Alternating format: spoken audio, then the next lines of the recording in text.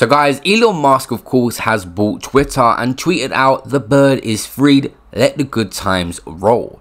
And it seems that Elon Musk is going to be removing lifetime suspensions on Twitter. Trump, Alex Jones, Andrew Tate, Leafy, and a bunch of other people will be returning according to Keemstar. He's already allegedly sacked the person who banned Donald Trump from Twitter. Elon Musk has expressed recently in interviews how much of an ambassador he's going to be for freedom of speech, no matter what it is. I think it's very important for uh, there to be an inclusive arena for free speech, uh, where all, yeah, so, uh, yeah. Um,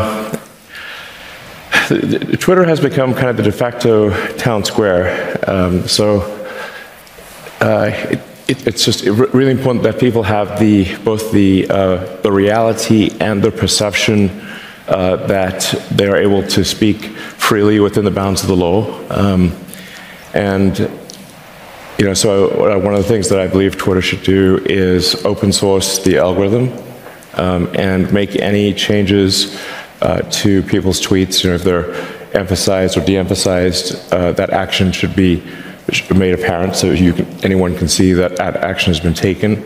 So there's, there's no sort of behind-the-scenes um, manipulation, either algorithmically or manually.